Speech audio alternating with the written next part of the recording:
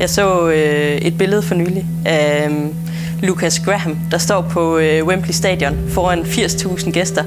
Og da jeg så det, så tænkte jeg, 80.000 gæster, det er godt nok mange mennesker at performe overfor. Topattraktionen Tirpitz ved Blåvand er en succes. Faktisk større, end nogen havde turet håbe på. Siden åbningen den 30. juni har der dagligt været kø ved glasdørene. Jamen, det vilde ved, at vi snart rammer 100.000, det er, at øh, det troede vi, vi skulle hen i foråret for at gøre. Vi havde regnet med, en gang i april, så, øh, så ville vi komme derhen omkring.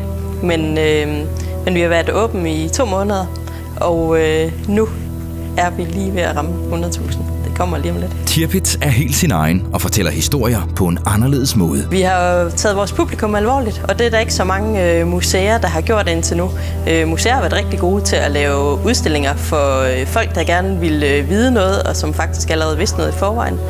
Vi har prøvet at vende den om og sige, at øh, vi vil gerne lave noget, som først og fremmest øh, virker som en god dag sammen. Og så kom der lige noget viden med ind i øh, bagagen også.